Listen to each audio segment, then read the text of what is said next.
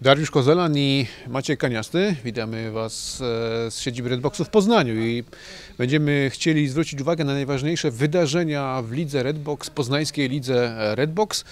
E, Z racji tego, że spotykamy się po świętach, to oznacza, że poprzedni tydzień był troszeczkę krótszy, bo w Poznaniu Wielki Piątek nie graliśmy, nie graliśmy także no, oczywiście w poniedziałek Wielkanocny, a więc chcielibyśmy zwrócić uwagę na najważniejsze wydarzenia tego skróconego tygodnia przedświątecznego. E, Maciej, wiemy, że ciągle Ekstraklasa jeszcze nie ruszyła, Ekstraliga, natomiast em, mm, nawet nie chcę omawiać wszystkich szczegółów e, czuba tabeli, bo to wszystko świetnie e, redagujesz na stronie, natomiast chciałbym zwrócić uwagę na to, czy pojawiły się już takie gwiazdy, gwiazdki, takie rzeczywiście osoby, które e, gdzieś tam zwróciły Twoją uwagę, czy nawet słyszałeś, że fajnie ktoś zagrał. Wiem, że e, no, jest jeden zawodnik, który 17 bramek chyba strzelił, a spotkań niewiele, więc być może on, być może ktoś inny się tutaj nam wyróżnił. Myślę, że właśnie zawodnik z drużyny PIMR, e, Grabowski, nie pamiętam, Michał, Damian. Damian, Damian, Grabowski jest e, postacią numer jeden w tej chwili. E, PIMR e, po, po małych perturbacjach przez dwa sezony ustabilizowało skład. Teraz pnie się w górze na razie komplet zwycięstw. Pokonali w ostatnim spotkaniu Czarną Brygadę dość wyraźnie, do przerwy prowadząc nawet 5-0.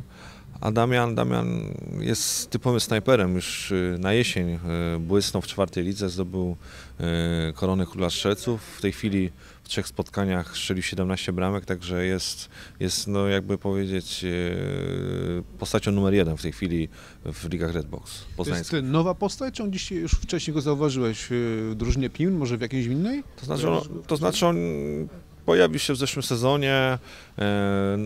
Natychmiast jak się pojawił, to też y, mówię, no, zdobył króla strzelców czwartej ligi. W tej chwili kontynuuje też y, przygodę właśnie z Pimrem zespół, zespół jak, jakby nie patrzeć, nie ma, nie ma wielu zawodników jakby tak gwiazd, a Damian, Damian jest takim, takim rodzynkiem, który, który, który no, po prostu znajduje się tam, gdzie trzeba i ciągle, ciągle te gole zdobywa. PIM gra w tym tygodniu. Myślę, że no, skusimy się i zobaczymy, jak gra Damian Grabowski, jak gra PIM cały, bo to przecież e, lider e, w trzeciej lidze. Pierwsza liga na razie spokojnie, tu G4S chyba na prowadzeniu. Tennessee także ciekawy zespół. Także pomału te zespoły się szykują chyba do tej takiej ostrzejszej walki. No myślę, że wszystko, wszystko się z biegiem czasu ustabilizuje. Ruszą drużyny z, pełne, z pełnego chłopu, jak wszystkie drużyny pograją po 3-4 mecze, też e, będziemy też wiedzieć e, na czym stoimy, gdyż no mówię, no, G4S na razie gra dobrą To piłkę, jest zawsze równy taki zespół, prezentuje Tak, dobrą, tak. równą formę. tak, prezentują różną formę, mają młodych chłopaków, troszeczkę paru doświadczonych, którzy, którzy kierują tą grą. E, bardzo dobry mecz ostatni z PBG, gdzie PBG, Wysokie wys, PBG po przegranej wysoką z Tennessee z, y, udało się, dźwignęło się i właśnie z G4S zremisowało 4-4, także mecz był bardzo, bardzo dobry, widowiskowy przede wszystkim i, no, i bramki też były okazałe. E, G4S prowadziło grę, przez cały czas prowadziło, a PBG odrabiało straty. Ym, Ciekawie, ciekawie się to zapowiada, bo tam rzeczywiście nie ma jakichś super faworytów, Mm, tak myślę przynajmniej. E, Czy w grupie druga liga, grupa A? W drugiej lidze jest bardzo wyrównane. Yy, Same wyniki pierwszych meczów już yy, sugerowały, że będzie to grupa najba- najbardziej chyba, yy, jakby powiedzieć, poziom, pozi- poziom zespołów jest tak zbliżony, że będą, będą to decydowały indywidualności, tak jak w danych zespołach. No, jedyną, jedyną na razie odstoją jest zespół Budchem, który w pierwszym meczu z FC Grunwald prowadził do, praktycznie do, na dwie minuty przed końcem prowadził 2-1, przegrał 3-2. Teraz drugie spotkanie troszeczkę do przerwy 0-0. Po przerwie e, Tropikana Choreka rozmontowała praktycznie butem i wygrała 5-0. Także, także mówię, mecze, mecze są wyrównane. Nie ma, nie ma takich głównych faworytów, którzy, W którzy jednej, wy... w drugiej grupie, czy w grupie A? Czy... To głów- głównie w grupie A, bo w grupie B te trzon no na razie rozpoczęło chyba 5 czy 6 zespołów, także tam trudno, trudno, Spokojnie, no, no, trudno- to pod, e, trudno powiedzieć, kto, kto będzie tam brylował i będzie właśnie w czubie tabeli. Grupa A, mówię, no na pewno, na pewno to cieszy, że właśnie te zespoły grają, muszą grać do końca, bo każdy wynik jest zawsze sprawą otwartą. jedna, dwie bramki nawet nie decydują o tym, że można spotkanie wygrać. Y, W trzecich ligach mówiliśmy, wspomnieliśmy o zespole PMR. On jest y, liderem jednej z grup, w grupie drugiej. W drugiej grupie e, dobry, dobry, dobry, e, dobry, mm, znaczy może nie dobry, e, korzystnie się prezentuje zespół UTAL, też z Łukniasz- Łukaszem Kniatem, który też jest właśnie lider strzelców. Trudno powiedzieć, jakby drużyna wyglądała bez tego zawodnika, ale jak na razie to, to, to skutkuje. Drużyna wygrywa. Teraz ciężki był z Saturnem, 7-5 wygrana. Saturn też miłe zaskoczenie. Właśnie. Drużyna, drużyna się troszeczkę skonsolidowała, bardzo ładnie to wygląda. Poprawiła przede wszystkim grę. No i e, po, po, po, poraz, po w, derbach szwagrów y, dwa mecze wygrała, teraz minimalnie przegrała z Utanem, ale, ale naprawdę dobrze to wygląda. Przede wszystkim gra dobrze wygląda.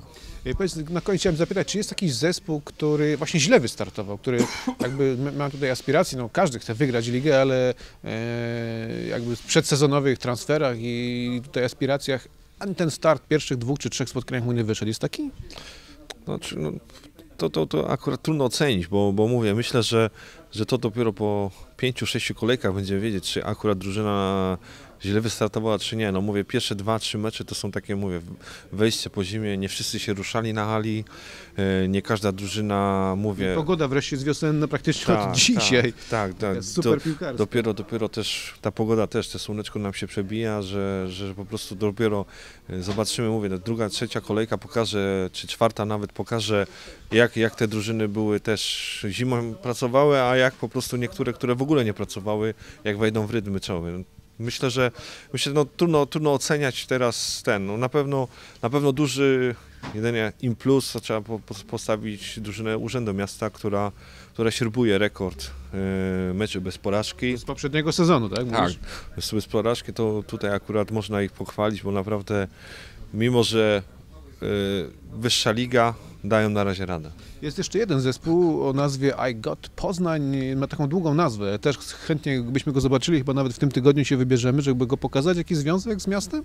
To znaczy to jest akurat e, zmiana nazwy drużyny Bela Beleza. Chłopaki, chłopaki wpadli na pomysł, e, zmienili nazwę w takim troszeczkę dłuższy, euro też. pod euro, pod euro troszeczkę e, mówię, no to jest e, nazwa nowa, zespół stary. Ale zobaczymy, jak gra dawna Bela Beleza, czy teraz zespół o nazwie, e, czy który, zespół, który ma w nazwie Poznań. Pimr na pewno w tym tygodniu dla Was pokażemy, także spodziewajcie się dobrych, ciekawych materiałów z Poznania, oczywiście z innych ośrodków Redboxu. Maciej Kaniasty, Dariusz Kozalan, do zobaczenia.